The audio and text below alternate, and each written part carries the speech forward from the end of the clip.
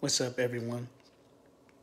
John, um, actually, Matthew uh, uh, 3 16 through 17. These are manifestations of the one God. Let's see it.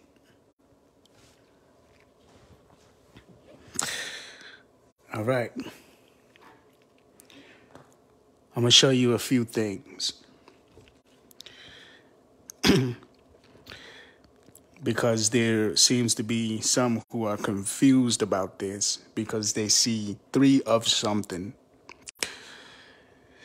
And so um, automatically forget that God is omnipresent and link the three of something as three of persons in the Godhead. And I'm going to disprove that. Watch this. Matthew uh, 3, verse 16. Now, I, I, I speak this in love, but if you've been taught wrong, then you should come under agreement with the word and believe what the word says and not what um, religion has taught you and traditions and doctrines of men but what the Bible actually teaches and believe that.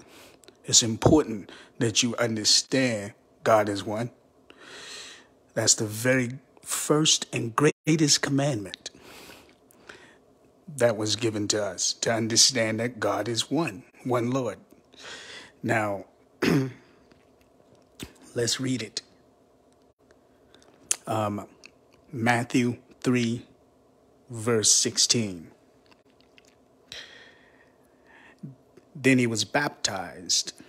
Then uh, when he was baptized, John came. Um, Jesus came up immediately. Um, John's the one that baptized him.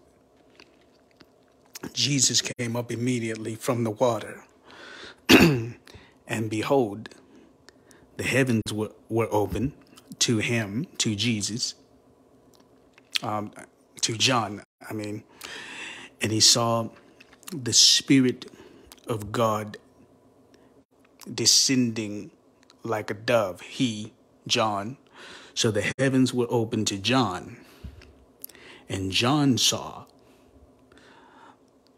Uh, this would be John the Baptist. John the Baptist saw the Spirit of God descending upon Jesus and alighting upon him like a dove verse 17, and suddenly a voice came from heaven saying, This is my beloved Son, in whom I'm well pleased. Okay, now, because they see Jesus being baptized and they see um, the Spirit of God descending upon him like a dove, and then they hear the Father speaking from heaven, they automatically who lack understanding of God's omnipresence said, There it is right there, Trinity. That's three persons. No, it's not. It's manifestations. Now, let me prove it. One, um, well, actually, let me just go to the scripture and prove it. Look at John 1 and 32. Let's go there. And all of you getting, get understanding. Never infer something into scripture. Never say what the Bible does not say. If you don't see three persons or three personalities or anything in, in the Bible that says that, then you shouldn't believe that. Otherwise, you make it up. All right. John 1, verse 32. And John bore witness. This is speaking about the same situation. It's just a different account, John's account of it. the Apostle John, giving an account of what the what John the Baptist experienced. and John bore witness, saying, I saw the Spirit descend, descending um, from heaven like a dove, and he remained upon him. Okay, so the Spirit of God descended upon the Son of God and remained upon him. Look at verse 33. I did not know him, did not know who, did not know the Son of God or who was the Son of God. I did not know him. so he could not have pre existed as a son. John said, I did not know him. I did not know him. But he who sent me, that would be the Father who sent John, he who sent me to baptize with water, said to me, so the Father said to John the uh, Baptist, upon whom you see the Spirit descending and remaining upon him, this is he who baptizes with the Holy Spirit. And I have seen and testified that this is the Son of God. Who's the Son of God? The Son of God was the one who the Spirit descended upon, not the Spirit that descended upon him. The Son of God was who the Spirit descended upon. And that was a sign to John. So, what did the Spirit descend upon? The Spirit descended upon a man. So, the man was the Son of God, not the Spirit that descended upon the man. So, the Son of God consisted of flesh and blood. All right? Now, let's look at some more detail of who the Spirit is. Because right there, because you see the Spirit descend upon him, and then you hear the Father speak from heaven, suddenly you forget about the omnipresence of God and you say, oh, that's two of them. No, it's not. Let me show you. Let me show you. Okay, so does everyone see that the reason why the heavens were open to John when he baptized Jesus was so that he could receive the sign that was given to him from the Father that who you see the Spirit descend upon, that's the one. That is the Son of God, and that is he who baptizes with the Holy Ghost. Now, um, interesting because the Father's the one that baptizes with the Holy Ghost. In the last days, I will pour out my spirit, and your sons and daughters shall prophesy. The Father's the one that baptizes with the Holy Ghost. Joel 2:28. So that Jesus, the one who the Spirit descended upon, that's the Son what he did, what the Spirit descended upon is the Son. But that Spirit that descended upon him, he's also that Spirit. Now let me prove it to you. Let me prove it to you, and then let me prove to you who that Spirit is. Watch this. Watch this. Okay. So, um, Let's go to John 14. Um, John 14 in verse 10. Do you not believe that I am in the Father and the Father in me? the words that I speak to you, that's Jesus speaking, the words that I speak to you, I do not speak on my own authority, But the Father who dwells in me the works. Now, where does the Father dwell? The Father dwell in him. In, in who? The Son. And who was doing the works? Not a son. The Father that dwells in him was doing the works. So the spirit that dwelt in him was not a God the Son or any other type of God. The spirit that dwelt in him was the Father only. And the only one who was doing works through him was the Father. But wait a minute, the Holy Spirit's the one that descended upon him, right? Now, watch this. Watch this.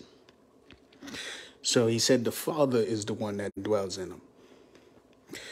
Watch where else he said the Father is. Look at Matthew. Keep that in mind. The Father was in him doing works. Keep that in mind. and let's take a look at Matthew 23 and verse 9. Look at this. Do not call anyone on earth your father, for one is your father, he who is in heaven. So, wait a minute. Right here, he says the father's in heaven. But we found in John 14 10, the father is in him. Doing what? Doing the works. And that the Son of God could not do the works himself. So, all the miracles and all the great things that you saw the Son of God do, that was the Father doing it through him. He didn't do it on his own, which means that he's not in the Godhead. Because if the Son was God, or functioning as God and not as man, then he would need the Father to do nothing. He would be able to do it on his own.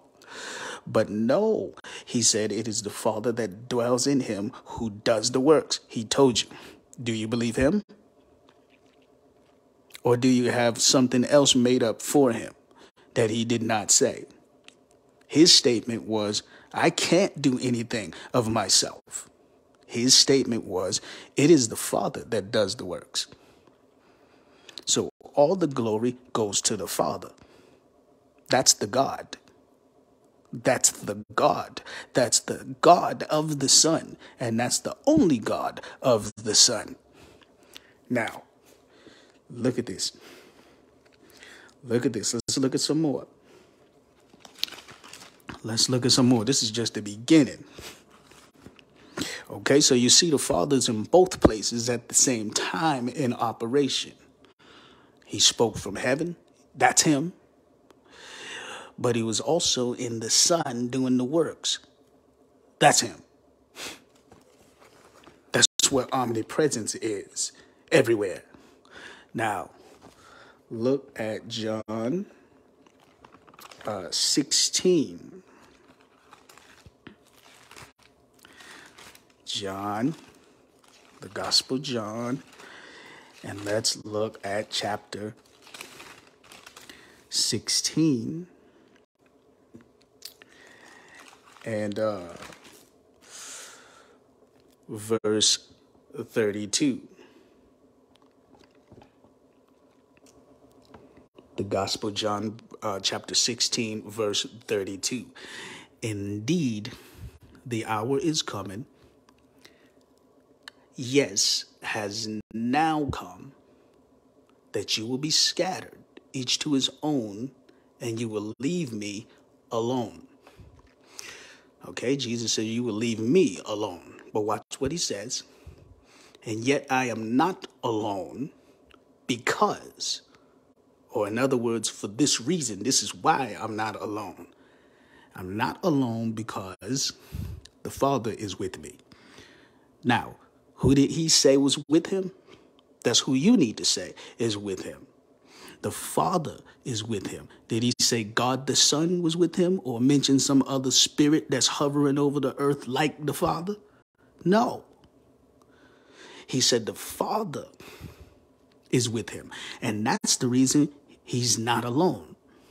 Now, if the Father separated from him, he'd be alone. Otherwise, if he was not alone, then there would be another person there after the Father leaves. But no, he said, he's not alone because the Father is with him. And he doesn't mention anybody else. So the Holy Spirit that was with him is that Father. This is a problem for Trinity doctrine because they believe the Holy Spirit is somebody else in the Godhead, a third person actually. Bible doesn't teach that nowhere. The only one that Jesus said was with him was his Father. So the Holy Spirit that descended upon him and remained upon him, meaning stood there, stayed there, stayed with him, that's the Father. That's the only one he said was with him, and that's the only reason why he was not alone. Otherwise, he would have had to say, The Father and the Holy Spirit is with me. And God the Son is with me. He didn't say that, did he? He said the Father, and that's it. So that means your thinking cannot exceed this, otherwise, your thinking is in error. And again, I speak this in love. If you if you think something else, you've been taught wrong. If you think three persons is with Jesus, you've been taught wrong. The only one that was with him was the Father, that's the only one he prayed to. That's the only one he heard from. That's the only one he was led by. Now, let's go a little further. Let's go a little further. Watch whose son he is. I'm to show you his daddy. Look at this. Look at this just in case you think the Holy Spirit's not the Father and you think that's somebody else. You just saw from Jesus himself. He said the only one that's with him is the Father, and that's the reason he's not alone. All right. Matthew 1 18. Now, the birth of Jesus Christ was as follows. After his mother, Mary, was betrothed to Joseph, before they came together, she was found with child of the Holy Spirit. Child of what? Child of the Holy Spirit. I am not alone because the Father is with me. Child of who? Child of the Holy Spirit. The Holy Spirit's that Father if he's child of the Holy Spirit, he's the son of the Holy Spirit, which makes the Holy Spirit God the Father and makes the Son what was born of Mary. The Holy Spirit's not his mother. His mother is mentioned right there, Mary, who was betrothed to Joseph. And before the two came together, she was found with child of the Holy Spirit. How much plainer can that get? So you, you cannot say the Holy Spirit's not his father if he's child of the Holy Spirit. This crushes Trinity doctrine all the way because he can't have two fathers. And you see that it is the same Father that Jesus said was in heaven. That's the same Father that Jesus said was in him. I can of myself do nothing. It is the Father that dwells in me. He does the works. Do you see? But it was the Holy Spirit that was in him. When he received the Spirit after baptism, he did his first miracle and turned water into wine. But it is the Father that dwells in him that does the works. The Holy Spirit's God the Father, not another spirit, not another distinct spirit used by God. That's all lies. It is the Spirit of God manifested. So that's a manifestation of the same Spirit of the Father, not somebody else. That's clear. That is clear.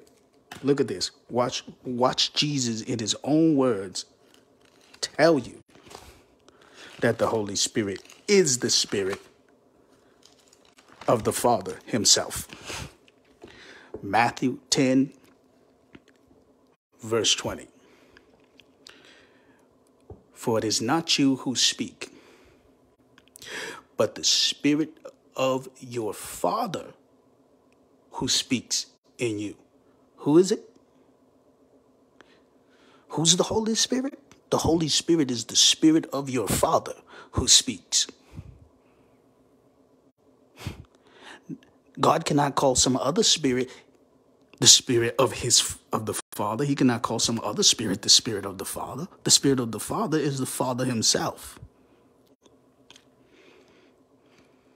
It is not you who speak, but it is the spirit of your Father who speaks in you. That's clear. All right? Now, let's look at some more detail. That should have already solved it. Because I just use scripture to prove the Holy Spirit is the Father. That means Trinity is false. In Trinity doctrine, none of the per- none of the three persons can be the same person. Here you see that the Holy Spirit is that Father.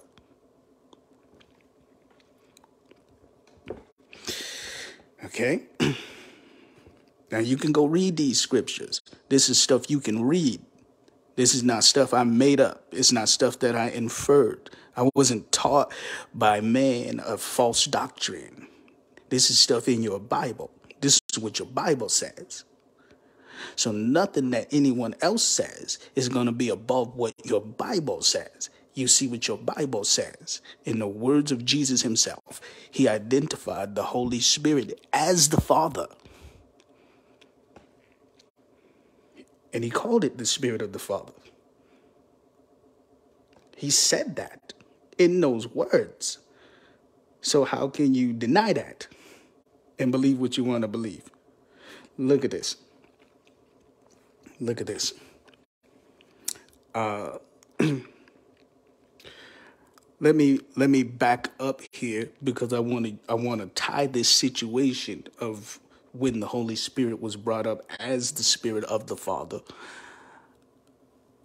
I want to tie this in with a couple of other viewpoints of the same situation and see the terms that are used to describe this same spirit. Look at this. Okay, look at let's let's go to verse 18 of Matthew, the 10th chapter. And if you don't have a Bible, you can listen. I promise you it's there. All right. You will be brought before governors. Keep this keep this situation in mind. You will be brought before governors and kings for my my sake as a testimony to them and to the Gentiles. But when they deliver you up, do not worry ab- about how or what you should speak for it will be given to you in that hour what you should speak. For it is not you who speak, but the Spirit of your Father who speaks in you. Now, keep in mind, it's the situation of you being brought before governors, right? And before the rulers, right? Don't worry about what you're going to speak. In that same hour, it will be given to you what you must speak. It's not you who speak, it is the Spirit of your Father. It's the Spirit of your Father, right? So, God the Father. Now, let's see something else. Look at Luke. Uh, the 12th chapter of the book of Luke. I want you to keep that situation in mind. Luke chapter 12. And let's look from verse 8. Also, I say to you, whoever confesses me before men, him, the Son of Man, will also confess before the angels of God. But he who denies me before men will be denied before the angels of God. And anyone who speaks a word against the Son of Man, it will be forgiven him. But to him who blasphemes against the Holy Spirit, it will not be forgiven him. What about the Father? How come he didn't mention the Father, y'all? Why would he tell you if you blaspheme against the, the Son of Man, it'll be forgiven. But if you blaspheme against the Holy Spirit, it, it will not be forgiven. But he doesn't mention the Father. Why? Holy Spirit is the Father. There's no reason to mention the Father as another distinct person. There's only one Spirit of God. That's that Spirit, the Holy Spirit. Now, here's where um, I, I just wanted to show you that too, to show you that Jesus doesn't mention the Holy Spirit as someone else. Um, look at verse 11. Now we just we we just read in Matthew the 10th chapter about how um, when you're brought before the magistrates and the rulers and that's that situation. Don't worry about what you will say. It will be given to you in the very hour right? And it said it is the spirit of your father who speaks right it's not you who speak but it is the spirit of your father who speaks in you watch who that spirit is here and watch that that the situation is the same now when they bring you He's saying the same thing. This is just Luke's account. Now, when they bring you to the synagogues and magistrates and the authorities, do not worry about how or what you should answer or what you should say. Same thing, right? For the Holy Spirit will teach you in that very hour what you ought to say. Wait a minute. I thought it was the Father. Matthew 10 and 20 says, The Father, it is not you who speak, but it is the Spirit of your Father who speaks. He's the one that's going to give to you in the same hour what to say. But in Luke 12 and 12, it says the Holy Spirit is the one who's going to give to you what you ought to say in the very same hour. Same, very same hour, same situation of being brought before the rulers and the magistrates. Same thing. Is it two of them giving you what to say? That would be conflict. Now, this the Holy Spirit is the Father. Now, look, look let's look at something else even further. Let's look at something else even further. Look at Luke. Let's stay in Luke. And let's look at chapter 21 of Luke.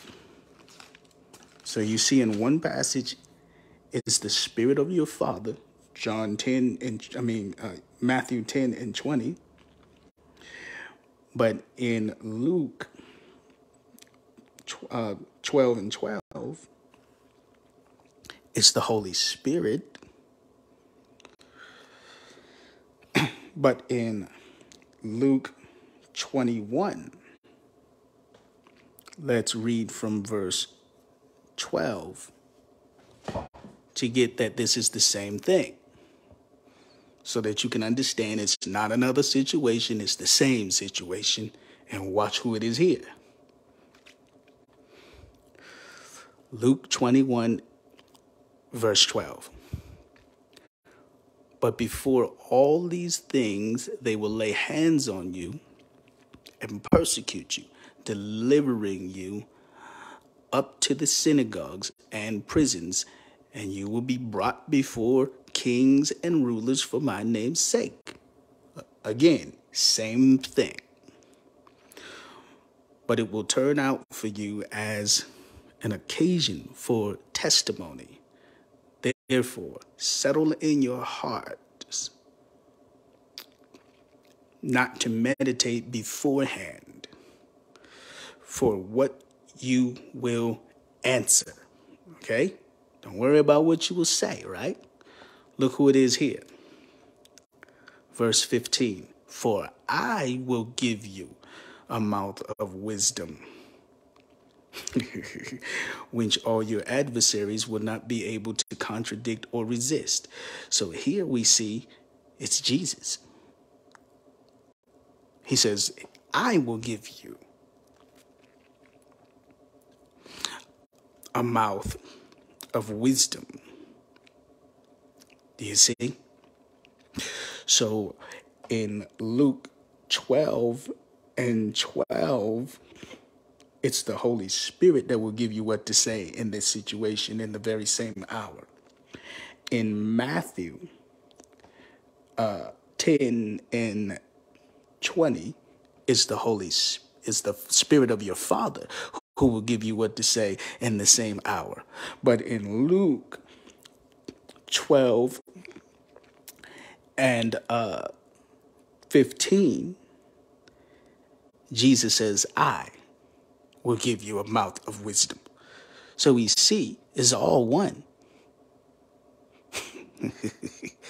that the Holy Spirit is the Spirit of the Father, that Jesus is that Spirit, because he says, I. So this closes the door for any persons in the Godhead other than the one. He's one alone. Jesus, as the Spirit, is the Father. The Son is just his humanity, which he created later. That came after. So that's a complete man who you see the Spirit descend upon. That's the Son. Not the Spirit that descended. Doesn't say the Spirit that descended was the Son. It said who you see the Spirit descend upon and remain upon. That's the Son.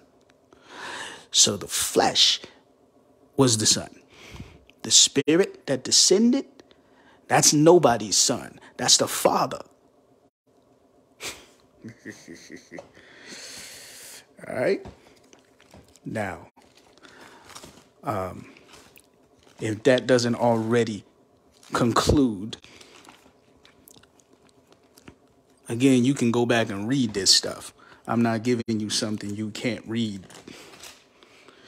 You can go back and see this in your Bible. It crushes the Trinity. There is no Trinity. God is one person. Manifestations are distinct, but He's one alone. um, Ephesians 4 and 4 there is one body and one spirit. How many spirits? One. Just as you were called in one hope of your calling, one Lord. How many lords? Not three lords. Not three who are Lord. No, one Lord. If there were three spirits who are Lord, then that would make three gods. There's only one spirit, and there's only one Lord. All we have is the same Lord manifested in the flesh. We don't have another one who's Lord two, or a third one who's Lord three. Look at this one Lord, one faith, one baptism. But watch when he gets to God, he adds some detail with it. One God and Father of all. Now he's adding detail in order for you to understand who the one God is. One God and Father of all.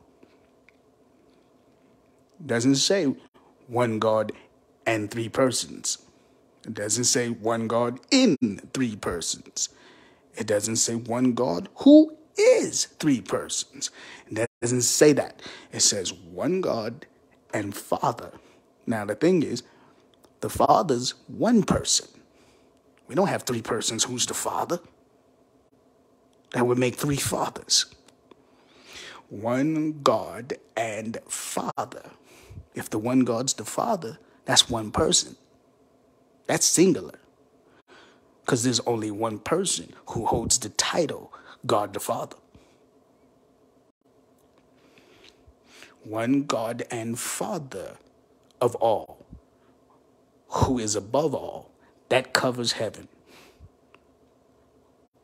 Who is through all, that covers who's working in us. That's the Holy Spirit. And in you all, that's Him. That's in us. So the same one that's above all, up in heaven, the voice that spoke from heaven, this is my beloved Son in whom I'm well pleased. That's Him. Same God that is through all. That's in us, working through us. That's Him. Same God that is in us. That's Him that is in us. It's the Holy Spirit that is in us. So, do you see? So, the same God the Father, and it specifically says the Father. So, the Holy Spirit that's in us, that's the Father. Let me read it again. One God and Father of all, who is above all Okay? Above all, that's up in heaven. And through all. Wait, that's down here. And in you all. That's down here. But who's down here? Holy Spirit. So that's Him. It's just a different manifestation of Him, but it's not somebody else is God the Father. So the Holy Spirit that is in you is God the Father that is in you. You see it right here. Now, does he mention anybody else? No, he goes on to talk about a whole nother subject after that. You see? Look at this. So the only God is the Father.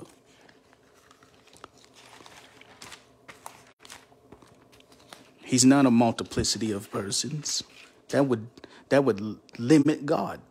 That dumbs God down to say that he needs some partners to help him. No, he does everything by himself. He's God all alone. That's belittling God to say that there's another a person in the Godhead helping him out. That's blasphemy. That's damnable doctrine. That is straight from hell. Look at this. Malachi. Um, No, I'm in Micah. I want to go to Malachi.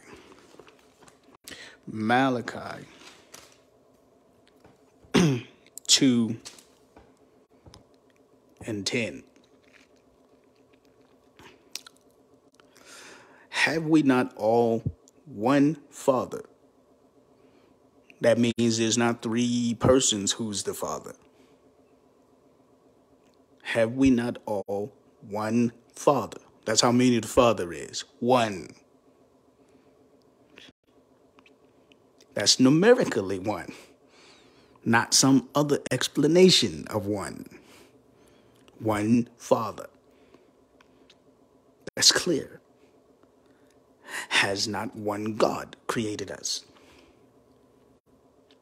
The one God is the one Father. Anything other than that is a false one. That's not what your Bible teaches. It teaches that the one God is the one Father. And since only one person can be the Father, God is one person. And we see that there, there's a passage of scripture, I don't have it pulled up right now, but, but the Father said that he has used similitudes and fashions. So he has shown up in similitudes and in fashions, different manifestations.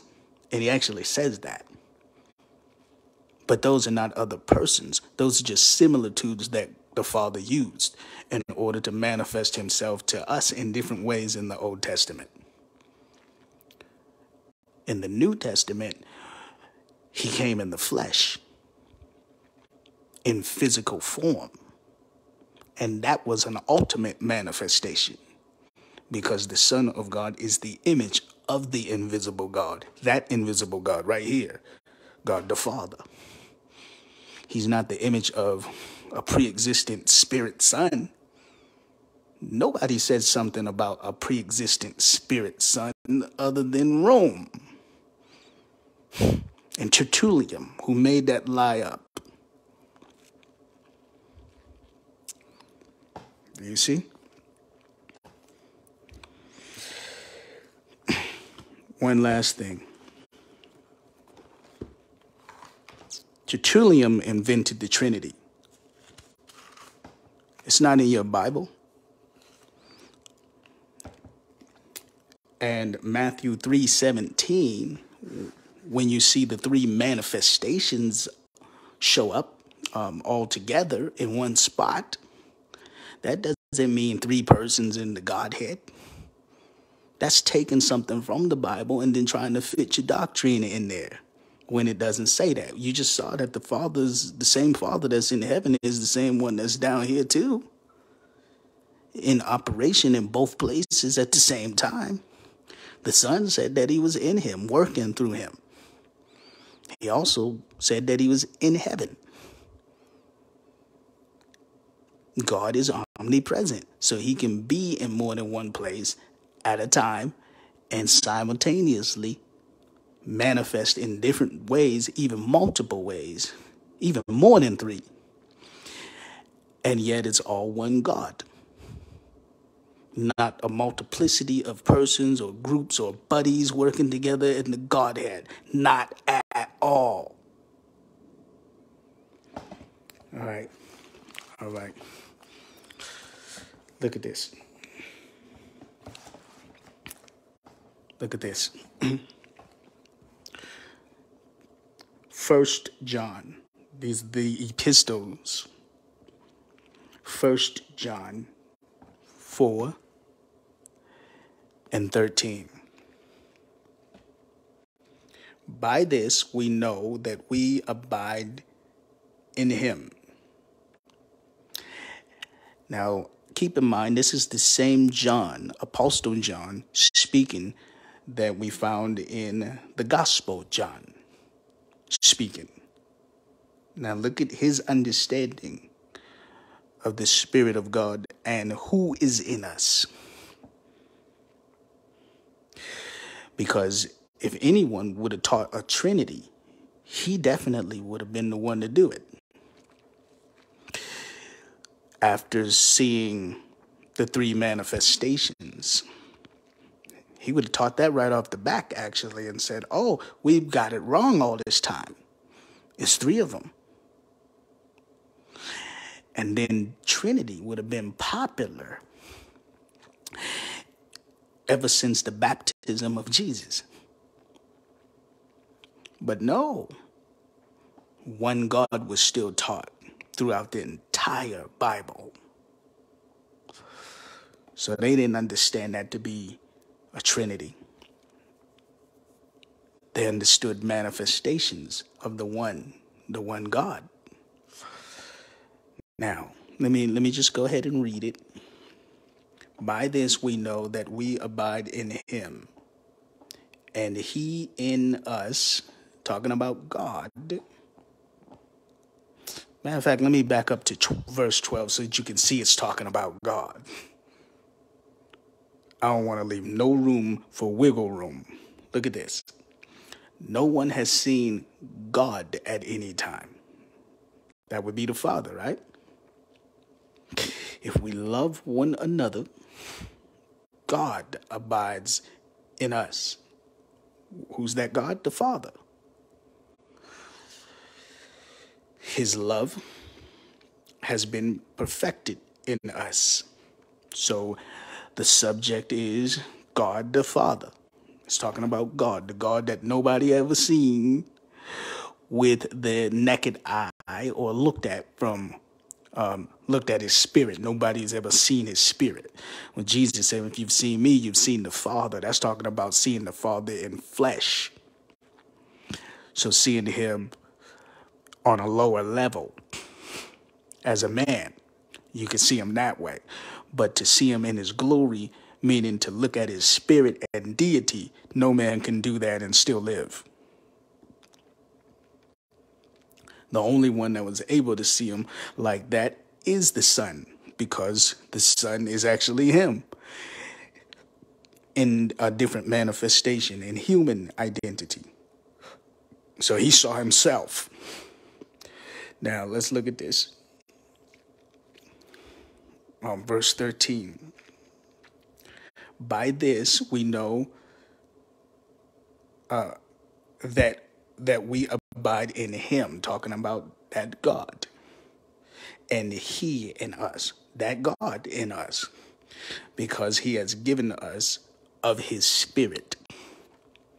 Now, it said He in us, because He has given us of His Spirit. So his spirit is not a third person in the Trinity in us. His spirit, it clearly says, that's him in us. Let me read it again. By this we know that we abide in him and he in us. He in us, not somebody else, not another person in the Godhead in us he in us. And who's the he that it was talking about? God, the God that nobody ever seen. Who's the God that nobody ever seen? The Father. The Father in us because he has given us of his spirit. So notice, of his spirit. Of his spirit. So it's a part of him, of his spirit. He took of his spirit. When God gave you the Holy Ghost, he took of his own spirit and put that in you. So that's a part of himself. It's not another person in the Godhead, it is the Godhead. He's in us because he has given us of his spirit. Eh, just in case you still don't know if it's God the Father, look at this. Verse 14. And we have seen and testify that the Father, so he's talking about the Father, that the Father has sent the Son as Savior of the world. Does everyone see it? So that's clear. That is clear.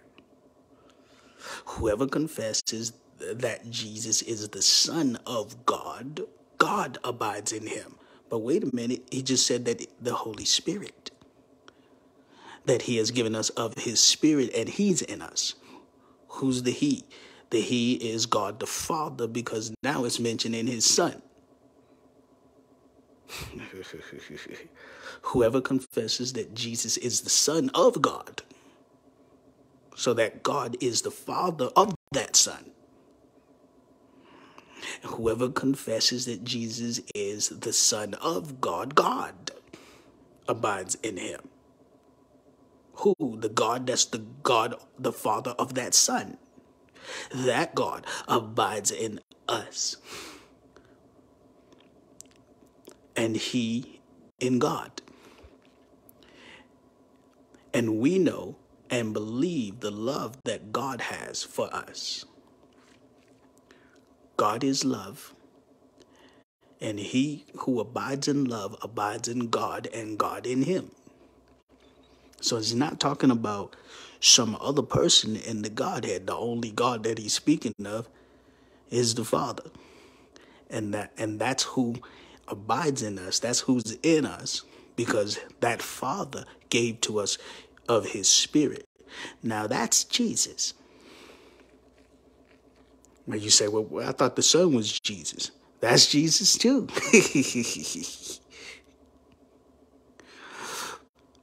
Jesus as a man and Jesus as God. Both are Him. He originally was always the Father. He revealed the name Jesus later for Himself. The Father had many names. And every time the Father would do something, he would give a name for what he did. His redemptive name is Jesus. Because that's the name that means Jehovah saves. So it is Jehovah. But he saved us by coming in the flesh in human identity to save us. He sacrificed his own body. So the Son of God is not a son from scratch. The Son of God is God manifest in the flesh. The Word was made flesh. The Word always was. The Word, which always was, which was the Father, or part of the Father, he took of himself and manifested of himself in the flesh.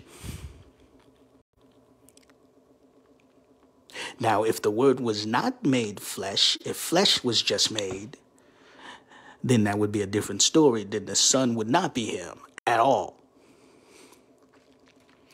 But since he took of his own spirit and the word was made flesh, then something that was eternal was made flesh.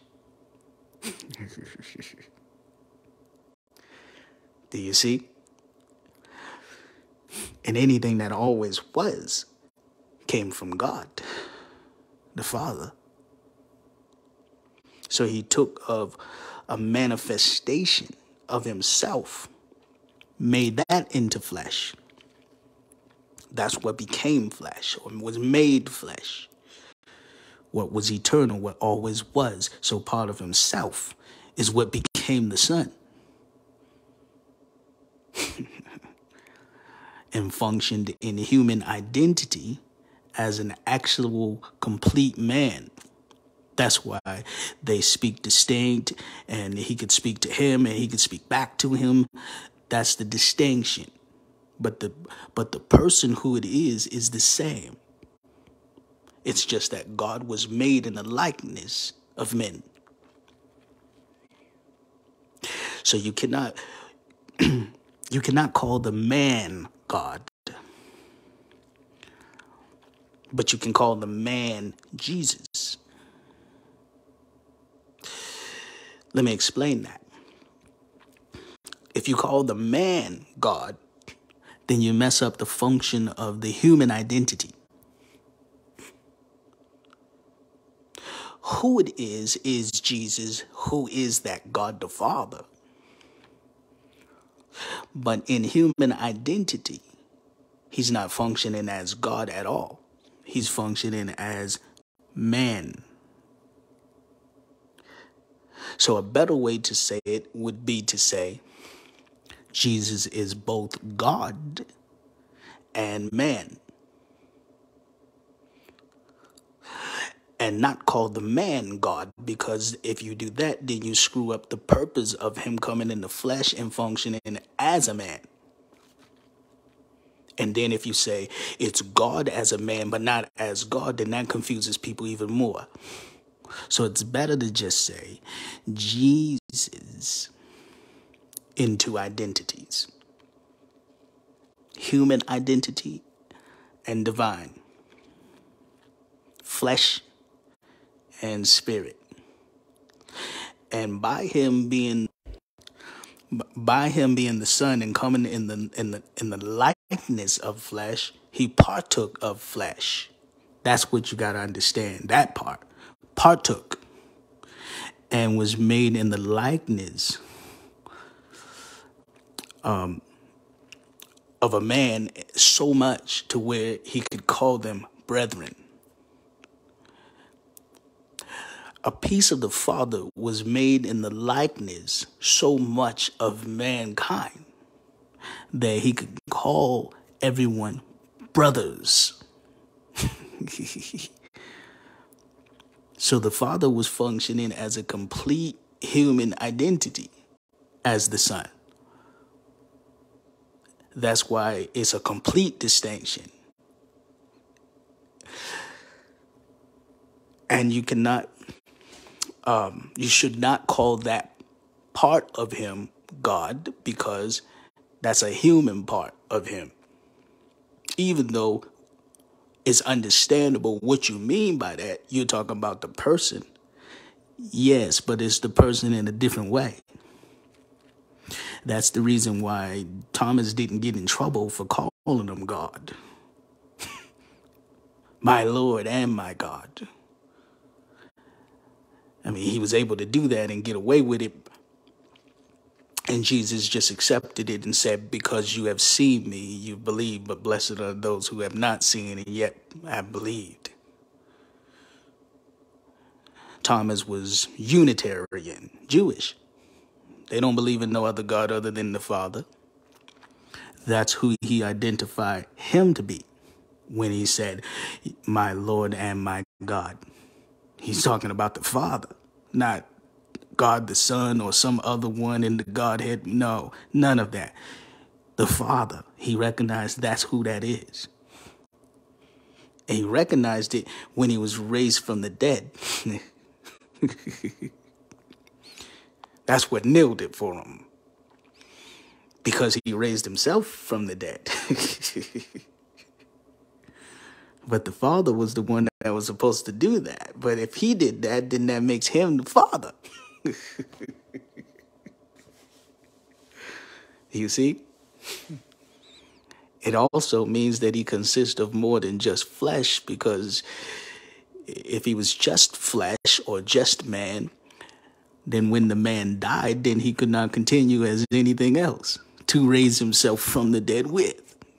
Dead means dead. But if he's continuing as something else, then that means he consists of something more, which is the Spirit. For the Lord is the Spirit, and where the Spirit of the Lord is, there's liberty. So, as the Spirit, Jesus always existed. He can go further back than the flesh and say, Before Abraham was, I was. I am. Not I was, I am. And use the actual name of God given to the Jews and speaking right in the Jews' face, using the name that they know what that means.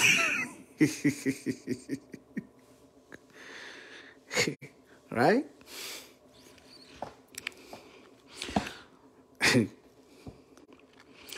so that's the difference son of God, this son of God is different than how Adam was called son of God. You do know Adam was called son of God too, right? Yeah, Adam was also called son of God, but not the, not the same way that Jesus was son of God. Jesus being son of God was God manifest in the flesh. Adam was not God. He's called son of God because God created him. He didn't have no mother or biological father. But God created him from scratch. So he's called Son of God because he's Son of God's creation. No mother. but Jesus, on the other hand, the Word was made flesh. God used something eternal from Himself in order to make that flesh.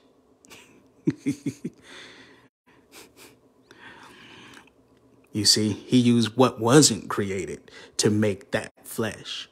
And that's what became the flesh, the word. So that's him in human identity.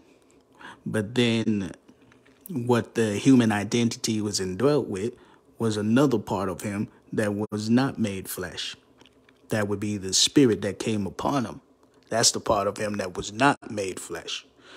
So we have two manifestations. We have one manifestation, the Word made flesh, and then we have another manifestation, the Holy Ghost indwelling the flesh.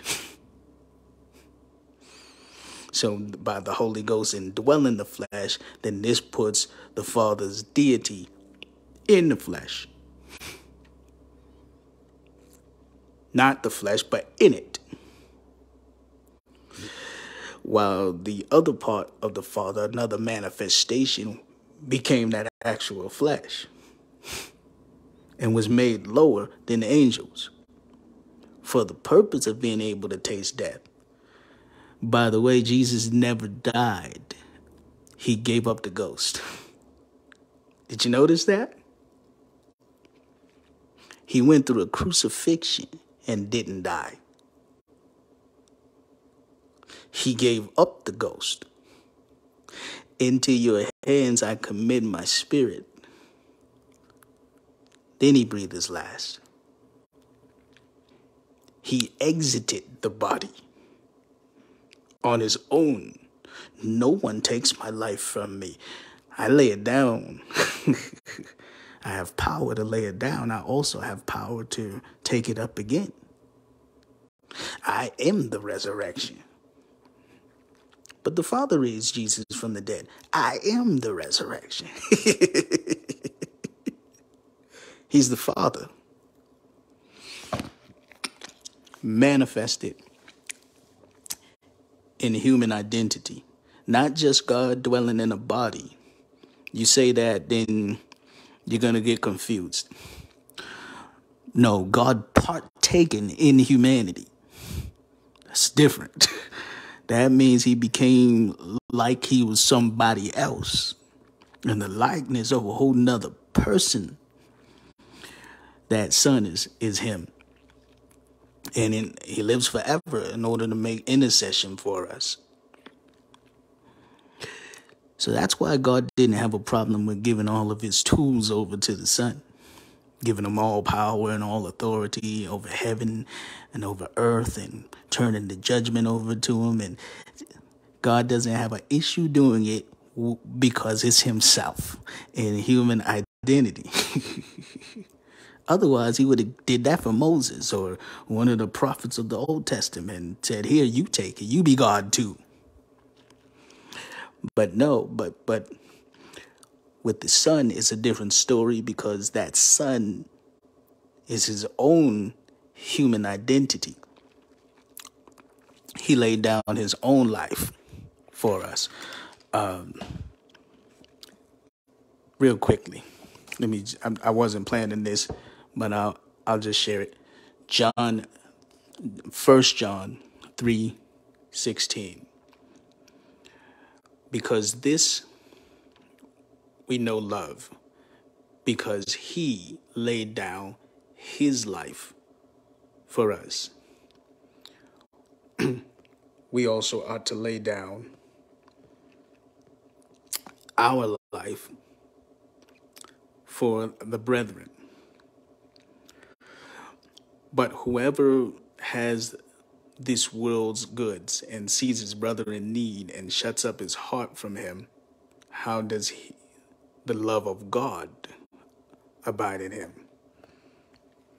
You see, so it's talking about the love of God. It's talking about God. And it says, God laid down his life for us, which means the Son of God is God's own humanity, is his life. There's two lives that was dwelling in Jesus. One was eternal, the other was given. One life was based on blood, which was made and created. The other life always existed, which was spiritual life, eternal life, always was, no beginning.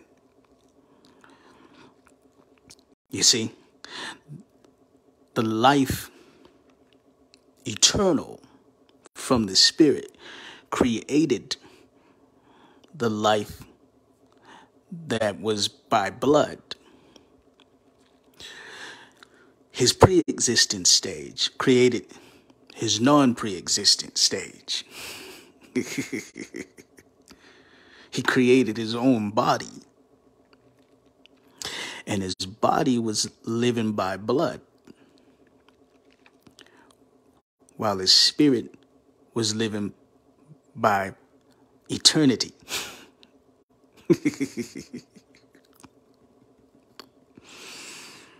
so you have human life and eternal life all in one person. And the person's name who has both lives is Jesus. So God in the flesh can lay down his life because that flesh is his life. That's why it says God so loved the world that he gave his only begotten Son. But we understand the love of God because he laid down his life for us. See how that makes sense? That he came in the flesh that human identity was him in another way. So by laying it down and putting it on the cross, he's really putting himself up there in a different identity. And that's how it's love. Now, if it was somebody else that's not him, that's not love.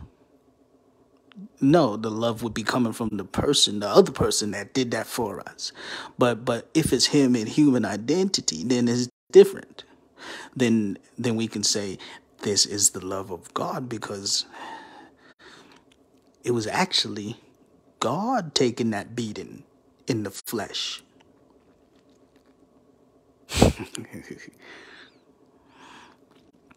now of course i'm not saying that they crucified God in spirit, but God manifested in the flesh, taking on flesh and sharing in human identity, he could experience crucifixion and death. And he created that manifestation for that purpose. Not only that purpose, but also for the purpose of being able to be a perfect mediator for us so that he himself can function in human identity.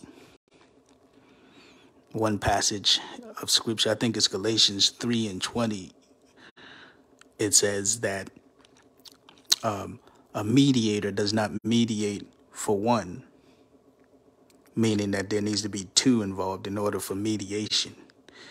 But it says God is one. Now, there's no reason to make the distinction unless God is the same God who is mediating, is the same God that he's mediating to. But as the mediator, he's not God. He's not functioning as God. He's a man there. But um, in spirit form, he's that God that he's mediating to. So this allows him to have control over both the mediation and who he's mediating to. That's why it says a mediator does not mediate of one, meaning that there's got to be two persons involved for mediation. But then he says God is one. So he can do it because he was manifested in the flesh and he's able to operate as both. because his manifestation in the flesh is not just him in a different way, it's a whole different identity than his identity as a spirit only. So that's why he can function as the Father and the Son, and it's complete distinction between the two, but yet the two are him alone. so there you have it, y'all. Um, I know that was a lot, but it's good for you. Bible's good for you. Peace.